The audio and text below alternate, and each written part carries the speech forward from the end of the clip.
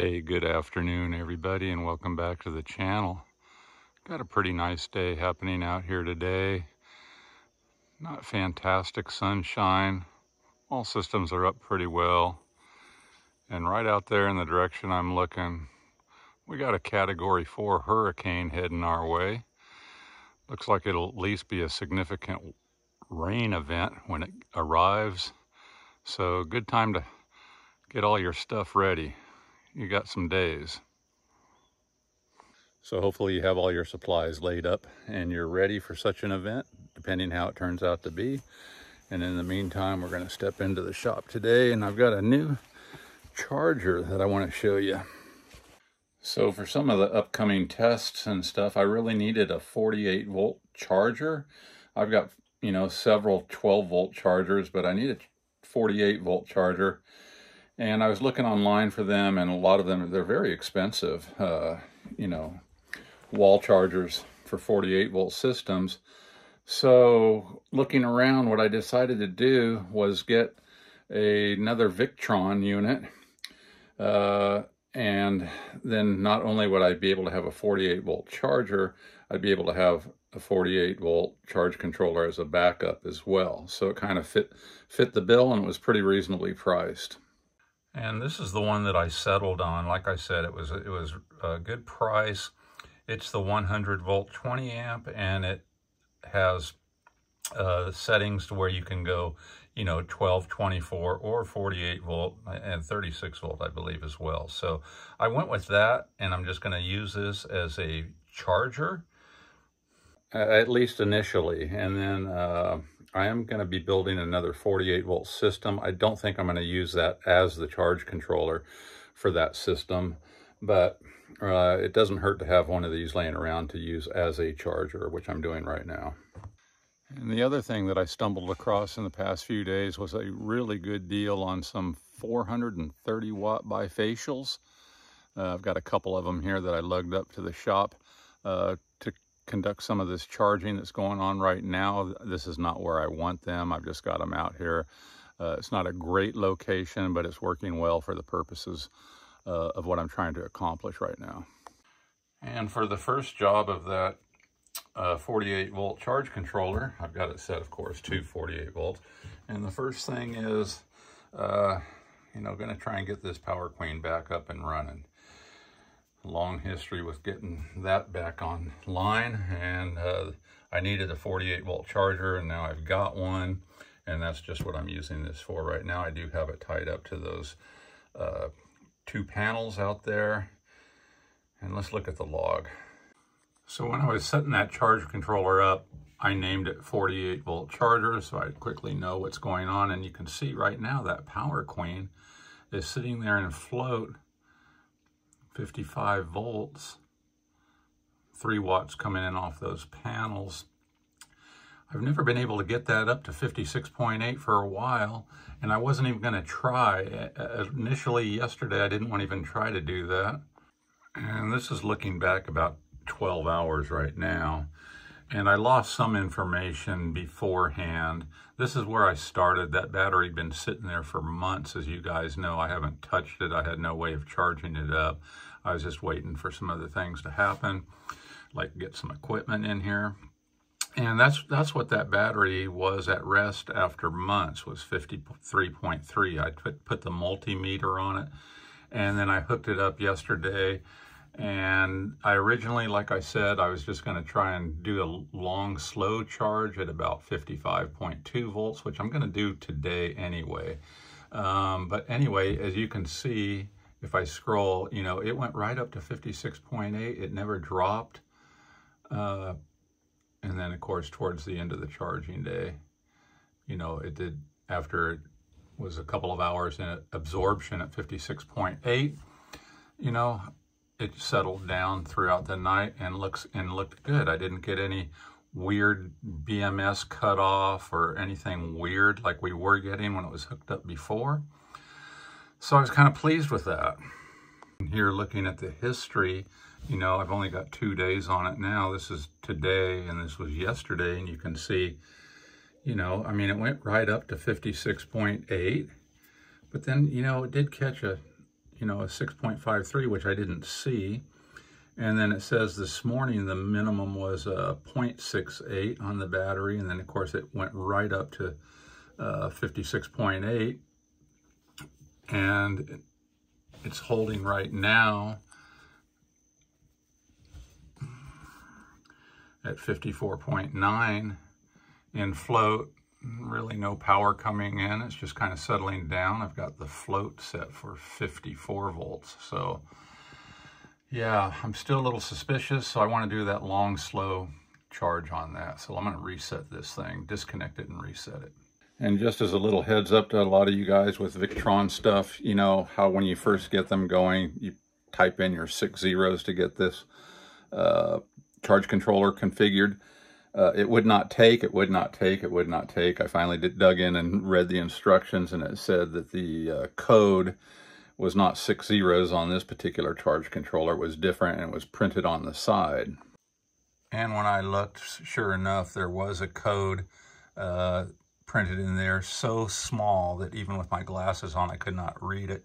I had to put a magnifying glass on there to figure out, you know, how just to get the initial programming going by putting in the code. So that was difficult, and I'm not kidding you. I had to put a magnifying glass on there. So I wish they just stick to six zeros to start with. Much easier. All right, so I'm going to shut those panels out there off right now. And now I'm going to shut this battery off. So we should have nothing up here now. And we don't. Good, because I want to start over. I am going to do a longer, uh, deeper top balance on this. And hopefully that's all that's going on with this. And if not, we are going to bust this baby open because I've got some stuff to do it with now. But okay, let's go ahead and reset this real quick. So we'll turn this back on. And should get a light here to energize that any second now. Come on. Okay, so I didn't run against this yesterday, but yeah, the battery's turned on now. I got the solar panels off and look, won't energize. I've got the multimeter on this battery in the on position. Yeah, not good. All right, let's energize with the solar now. Turn that on. Light comes right on. And look at that battery voltage jump up. Okay, so yeah, we still got a problem with this Power Queen. Should have when I flipped it on, like I said, it rest for months and months. When I came up here before I even started yesterday, I was 53.1 or 3 volts on this, which really surprised me. And it quickly went up to, with the solar connected, to 56.8, which, you know, that really threw me for a loop, and I didn't see anything cutting off at all. So there it is, 56.3 volts now. Let's change these charging parameters, though. Okay, it's allowing in 60 some watts now, and it did resort back to the bulk stage, which is good, so I can go ahead and reset that. That got good voltage. And now I'm going to go ahead and dial that voltage down to what I want, which is 55.2. And when I get it down there, I'm going to let it sit on that for hours and hours for the next week. I'm thinking. See if we can't really get this thing to behave. Okay, so there I've got my absorption voltage set, 55.2. And let's change this to absorption time to, let's just run it up to six hours a day.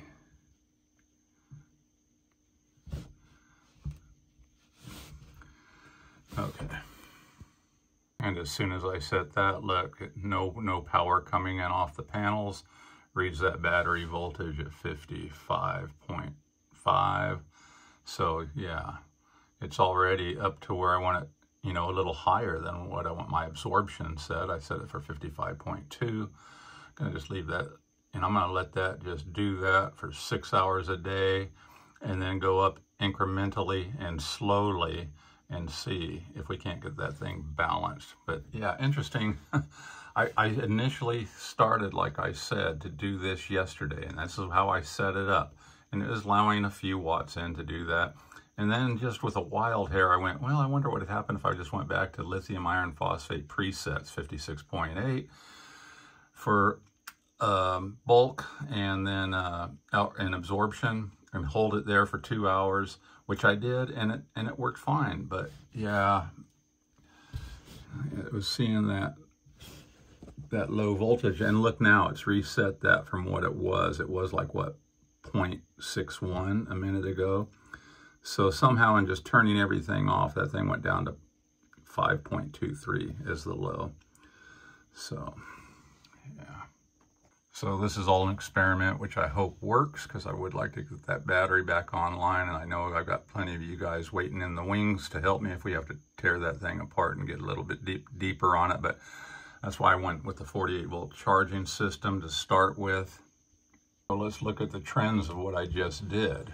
Okay, so let me get it to where we can see some voltage up there.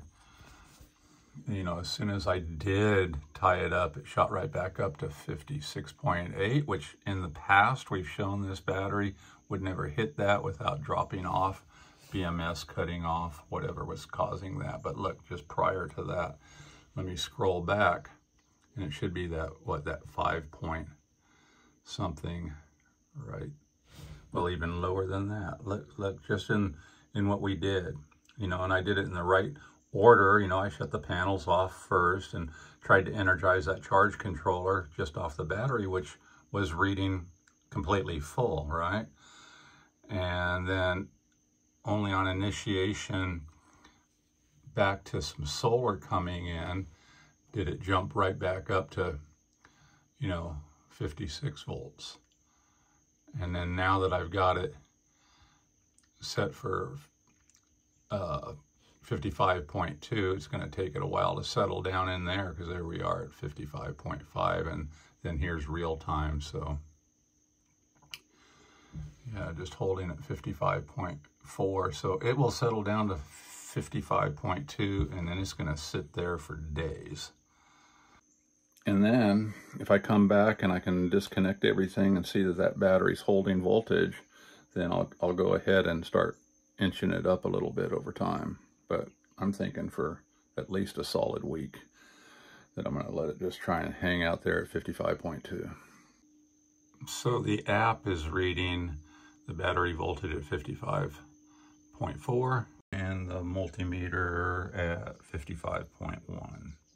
And I was just looking at the instructions for that Victron 120 that we've got tied up right now, and it, it actually says 12 volt, 24 volt, or 48 volt systems. Uh, you can configure it. I thought 36 too, but now I don't see it. So anyway, 12, 24, 48. And you can see that voltage is starting to settle down a little bit, and hopefully it'll drop all the way down to 55.2, and, and I'm hoping I can even see like, you know, one or two watts of the solar coming in to hold it at that and see what happens. But it's still not quite there to even allow any solar in. And there we go, you know, the yellow absorption light. So yeah, this is just going to be my 48 volt charger for a while. Uh, I do have another 48 volt battery that I'm going to grab here in the next month or two. And so I kind of need a way to, you know, wake up, test the battery, charge it up, uh, and hopefully get this one resolved too in the meantime. Uh, this was cheaper than most of the 48 volt chargers, you know, wall chargers uh, type of thing that I saw online. So I thought, you know, that would work. And then I can use it for some other things as well. So I kind of went with it for a little more versatility than just having a wall charger. And just for those of you interested, yeah, that thing came in at 86 bucks, which was, like I said, cheaper than most wall chargers that I saw, and a few more options by using this, so that's why I went with it. So 860 watts available and zero watts coming in. So yeah, over paneled for the experiment, but ready. And you can see that voltage is starting to settle down a little bit. Uh, drops a little bit more and hopefully we'll see a little solar come in, just a watt or two, a few watts to hold it at that 55.2. And hopefully in the morning we won't see uh, a voltage drop overnight and we'll just let this go for a few days. Fingers crossed that it's just one cell in there so poorly balanced that that's what's doing it. Uh, that would be lucky if that's what it turns out to be. But if not, I got a uh, new BMS coming and I got another battery to put that on and so we got we have options but yeah I'm gonna be patient with this now that I've got a 48 volt charger yeah so for those of you out here uh, you know be aware we do have a monster hurricane out there cat 4 at the moment hopefully the closer it gets those shear winds will bust it up and the cooler waters will have it fizzle out but uh, make sure you're ready. Make sure you're ready because when they say significant rain out here, you know what that means. And it looks like we're gonna get significant rain here when that baby gets closer. So yeah, get ready. Relax into it. Well, it's been about an hour since I was first showing you those values. Uh, let's see how that 860 watts of solar is working now. Hopefully uh, it's taking a little bit of power to hold it at 55.2. and when I get these things mounted where I want them, I am going to be uh, putting them at an angle to hopefully get some bifacial gain instead of, you know, uh, flat on the ground or anything like that. Uh, they're, they're going to have a specific place for a specific purpose. It's going to be a little while before that happens, but in the meantime, let's just look and see. Oh yeah, baby. We got one watt coming in off of 860 watts. One watt holding that battery, yeah, right at 55.2, right there. All right, we're gonna do that for a week or so and I'll let you guys know how that worked and hopefully we don't see, you know, when the voltage and the solar panels are completely shut down tonight that that, that battery reverts back down to, you know, a dead battery again. So I'm just gonna let this rock and roll for about a week. We'll check back in with it. Multimeter still reads at 54.8 uh, on that battery, but yeah, on the app, pretty much holding rock steady at 55.2 with one volt of solar. well, it's all an experiment, uh, and we'll see how it goes. I've got many other things that I've got to get done. So I'll let that just go for the next week, hunker down, get ready for some significant weather. I hope you guys are all well wherever you are at. And uh, yeah, I'll catch you guys on the next one. Aloha, everybody. Catch you next time. Pretty nice day. And yeah when they say significant rain out here from a hurricane, uh, they can be measuring by feet of water coming down, but we'll see. Hopefully it'll all pan out and be fine.